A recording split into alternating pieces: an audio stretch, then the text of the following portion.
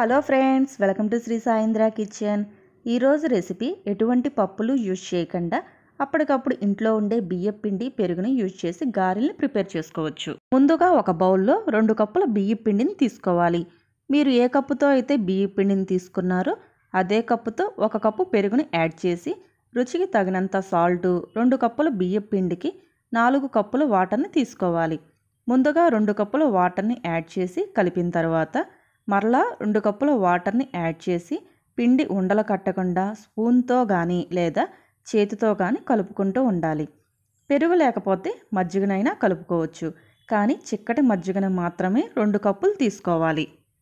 ఇప్పుడు ఒక కళాయిని కానీ ప్యాన్ కానీ తీసుకొని మంటని మీడియం ఫ్లేమ్ మీద పెట్టి కలుపుకున్న పిండి మిక్చర్ని కళాయిలో తీసుకొని పిండి ఉండలు కట్టకుండా బాగా కలుపుకుంటూ ఉడికించుకోవాలి.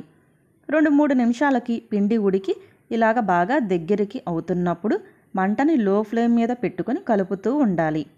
మరో రెండు మూడు నిమిషాలకి పిండి బాగా గట్టిపడుతుంది. చేతిని తడి చేసి పిండిని ఇలా పట్టుకుంటే రౌండ్ బాల్ లాగా రావాలి. ఇప్పుడు స్టవ్ ఆఫ్ చేసి ఈ పిండి ఉన్న కళాయిని పక్కన పెట్టుకోవాలి. ఈ పిండిలో ఒక టీ స్పూన్ జీలకర్ర కట్ చేసిన అల్లం ముక్కలు సన్నగా కట్ చేసిన రెండు పచ్చిమిర్చి పావు కప్పు ఉల్లిపాయ ముక్కలు కొంచెం కరివేపాకు వేసుకొని కలుపుకోవాలి.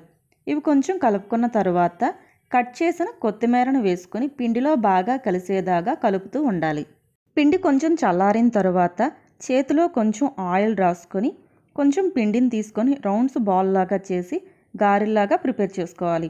ఇలాగే మొత్తం పిండిని గారెల్లాగా ప్రిపేర్ చేసి ఒక ప్లేట్లో తీసుకోవాలి. ఒక కళాయిలో డీప్ ఫ్రైకి తగినంత ఆయిల్ తీసుకొని ఆయిల్ హీట్ అయిన తర్వాత మంటని మీడియం ఫ్లేమ్ మీద పెట్టుకొని గారెల్ని ఒకదానికొకటి అతుక్కోకుండా ఆయిల్లో వేసుకొని రెండు వైపులా తిప్పుతూ ఫ్రై చేయాలి. బియ్యం పిండిని ఉడికించేటప్పుడు పిండిని పల్చగా ఉన్నప్పుడు స్టవ్ ఆఫ్ చేస్తే గారెలు ఎక్కువ ఆయిల్ని పీల్చుకుంటాయి. కాబట్టి పిండిని గట్టిగా అయ్యేంత వరకు ఉడికించుకుంటూ ఉండాలి. ఇలా గారెలు మంచి కలర్ వచ్చేంత వరకు రెండు వైపులా ఫ్రై చేసి ఒక టిష్యూ ఉన్న ప్లేట్లోకి తీసుకుంటే ఎక్స్ట్రా ఆయిల్ ఏమన్నా ఉంటే పేపర్ పీల్ చేసుకుంటుంది. ఇలా గారెలు తినాలనిపించినప్పుడల్లా అప్పటికప్పుడు పదే పది నిమిషాల్లో గారెల్ని ప్రిపేర్ చేసుకోవచ్చు. ఈ వీడియో మీకు నచ్చినట్లయితే లైక్ చేయండి షేర్ చేయండి. నా ఛానల్ని సబ్స్క్రైబ్ చేసుకొని పక్కనే ఉన్న బెల్ ఐకాన్ మీద క్లిక్ చేయండి.